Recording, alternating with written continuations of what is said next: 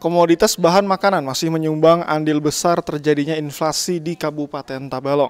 Sepanjang tahun 2016, hampir setiap bulan kondisi inflasi di Kabupaten Tabalong berjalan normal. Kecuali pada bulan Juli atau bertepatan dengan Hari Raya Idul Fitri terjadi kenaikan 1,08 persen. Kemudian pada bulan November dan Desember di mana pada saat itu bertepatan dengan bulan Maulid, Natal dan Tahun Baru turun 1,02 persen. Laju inflasi kumulatif tahun 2016 sebesar 2,18 persen dan laju inflasi year on year adalah 2,18 persen. Adapun komoditas yang mengalami kenaikan harga dengan andil inflasi tertinggi antara lain adalah daging, ayam ras, cabai rawit, dan telur ayam ras. Sedangkan komoditas yang mengalami penurunan harga dengan andil deflasi tertinggi antara lain adalah beras, bayam, apel, sawi hijau, dan kangkung. Untuk Januari sampai Desember 2016, Kabupaten Tabalong, khususnya Tanjung, itu inflasinya sebesar 2,21 persen.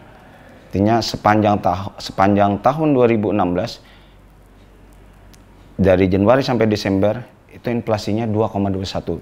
Nah, untuk kita lihat ke belakang, pada tahun 2015, itu inflasinya sebesar 6,5 jadi jauh sekali, hampir hampir tiga kali lebih lebih aman dibanding inflasi tahun 2015. Nah, jadi sepanjang tahun itu hanya pada bulan Juli kita ada kenaikan yang di angka di atas satu persen. Itu pada bulan Juli karena mungkin ada hari raya. Ada persiapan hari raya kan pasti kebutuhan apa masyarakat terhadap uh, apa keperluan rumah tangganya akan lebih meningkat. Kemudian di bulan November juga meningkat itu ada sekitar 1,85 persen. Nah jadi karena mungkin ada maulid, maulid rasul kan biasa di, di kabupaten kita uh, semaraknya kegiatan maulid. Nah, itu menunjang keperluan rumah tangga dan kegiatan aktivitas keagamaan ini. Di samping uh, kondisi cuaca, kita mengetahui bahwa tidak seba, tidak seluruh ke apa keperluan rumah tangga kita akan dipenuhi dengan dengan ketersediaan pangan di daerah kita. Inflasi di Kabupaten Tabalong sendiri dihitung setiap bulan, namun untuk pencarian data dilakukan setiap minggu. Selain itu, inflasi daerah di Kabupaten Tabalong turut dipengaruhi oleh kondisi cuaca yang ada di Kabupaten Tabalong.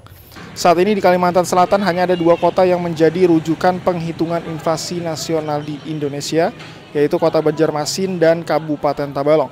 Namun ke depannya Kota Baru juga akan dimasukkan dalam penghitungan inflasi nasional. Dari Tanjung, Tim Liputan Pemkap Tabalong melaporkan.